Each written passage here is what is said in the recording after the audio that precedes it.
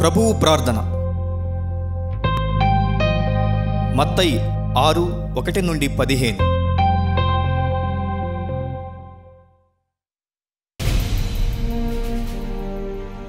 జాగ్రత్త మీరు చేసే నీతి కార్యాలు ఇతరులు చూసేలా చేయకండి.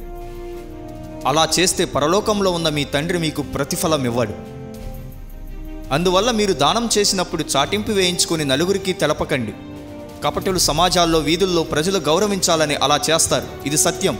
వాళ్ళకు లభించవలసిన ప్రతిఫలం అప్పుడే పూర్తిగా లభించింది.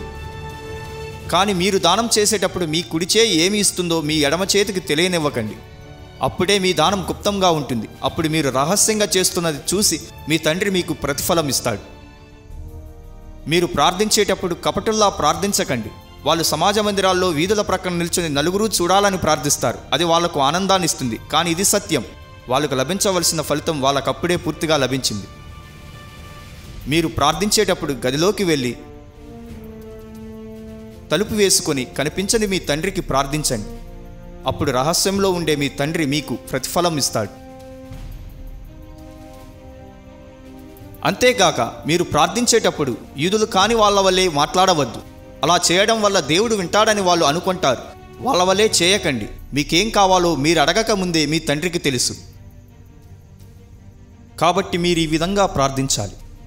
పరలోకంలో ఉన్న మా తండ్రి నీ పేరు సదా పవిత్రపరచబడాలని మేము ప్రార్థిస్తున్నాం. నీ రాజ్యం రావాలని పరలోకంలో నీ చిత్తం నెరవేరునట్లు ఈ లోకంలో కూడా నెరవేరాలని ప్రార్థిస్తున్నాం. ప్రతిరోజు మాకు కావలసిన ఆహారం మాకు దయచేయం ఇతరులు మా పట్ల చేసిన పాపాలను మేము క్షమించిన రీతిగా మేము చేసిన పాపాలను కూడా క్షమించుము. మేము శోధనకు గురి అయ్యేలా చేయవద్దు. పైగా మమ్మలను దుష్టి నుండి కాపాడు. ఇతరుల తప్పుల్ని మీరు క్షమిస్తే పరలోకంలో ఉన్న మీ తండ్రి మిమ్మల్ని క్షమిస్తాడు. కానీ ఇతరులను మీరు క్షమించకపోతే మీ తండ్రి మీ తప్పుల్ని క్షమించడు.